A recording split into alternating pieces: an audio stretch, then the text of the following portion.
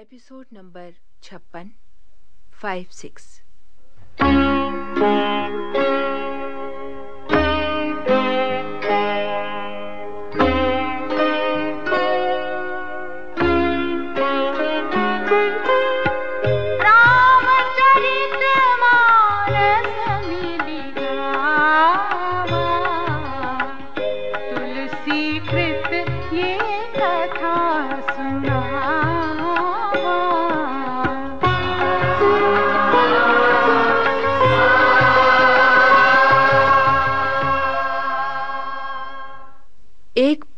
आयु जी चुकने के बाद भी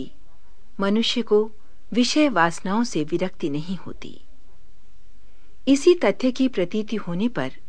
मनु को वैरागी की प्रेरणा मिली थी छह हजार वर्षों तक मात्र जल का आहार फिर सात हजार वर्षों तक वायु का आधार और अंत में दस हजार वर्षों तक वायु तक के बिना तपस्या करते न करते ब्रह्मा विष्णु तथा महेश ने कई बार उन्हें दर्शन देकर वरदान मांगने का परामर्श दिया किंतु मनु दंपति किसी के डिगाए नहीं डिगे अंत तो गत्वा सर्वज्ञ प्रभु की परम गंभीर अमृत सनी वाणी सुनाई पड़ी वर मांगो कानों में अमृत सरीखी ये गूंज सुनकर मनु बोले हे अनाथों का कल्याण करने वाले यदि हम लोगों पर आपका स्नेह है तो प्रसन्न होकर ये वर दीजिए कि आपका जो स्वरूप भगवान शिव के मन में बसता है सगुण और निर्गुण कहकर वेद जिसकी प्रशंसा करते हैं हम उसी रूप को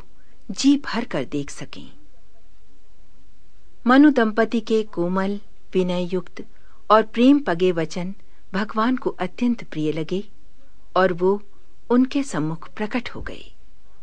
शोभा के सागर भगवान का ये रूप देखकर मनु तथा शत्रुपा के नेत्र अपलक एकटक खुले के खुले रह गए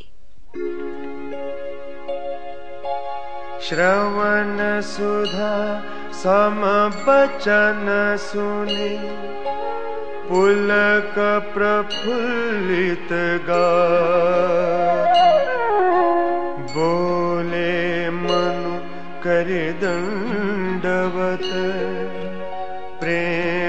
न हृदय समात्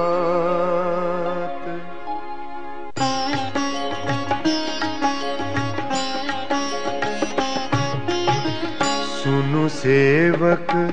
सुरतरु विधि हरिहर पण्डित पदरे सेवत सुलभ सकल सुखदायक प्रणत पाल सचरा चरनायक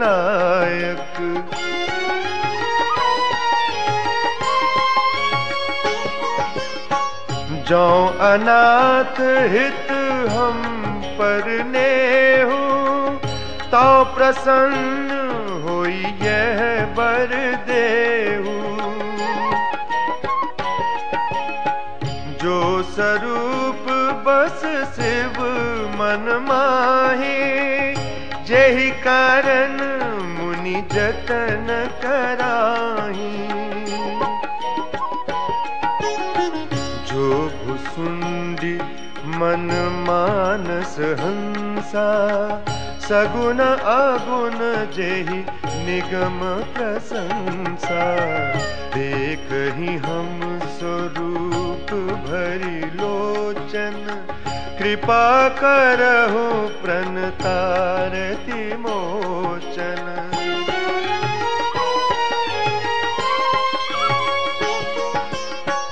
दंपति बचन परम प्रिय लागे मृदुल विनीत प्रेम रस पागे भगत बचल प्रभु कृपा निधाना विश्वास प्रग के भगवाना नील सरो नील मणि नील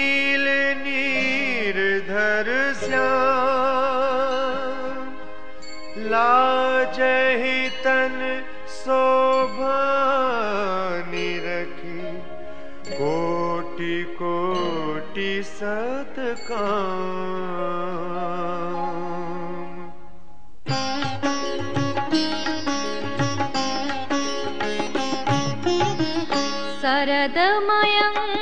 बदन छवि सेवा चारु कपोल चिबुक दर दीवा अधर अरुण रद नासा विधु कर निकर विनिन्दक हासा नव अम्बुज अम्बक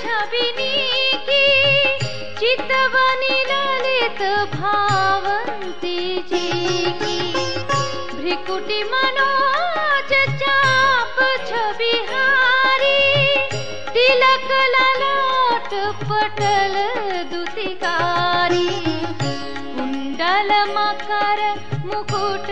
सिर भाजा कुटिल केस जनु मधुप समाजा उरसी वत्स रुचिर बन माला पदिक हार भूषण मणिजाला के हरिकन्द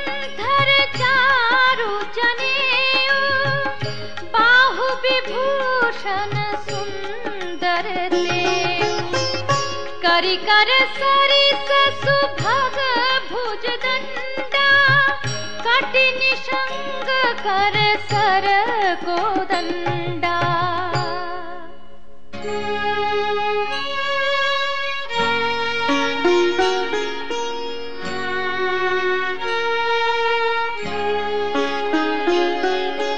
तरि तनिन्दक कपीत पट भरती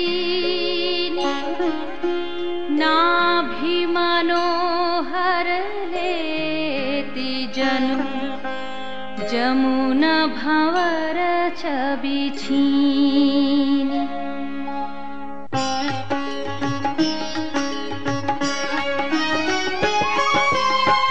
पद राजीव बरने नहीं जही मुनि मन मधुप बसहि जिन माहि भति निधि आदिशक्तिनिधि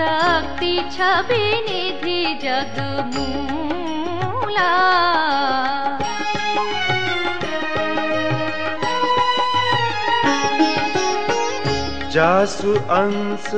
उपजहि गुणखानि अगणितलो मा ब्रह्म कुटी बिलास जासु जग होई राम बाम दिसी सीता सोई छवि समुद्र हरि रूप बिलो की एक टक रहे नयन पट रो की वही सागर रूपानु ता तृप्ति न मानहि मनुसत रूपा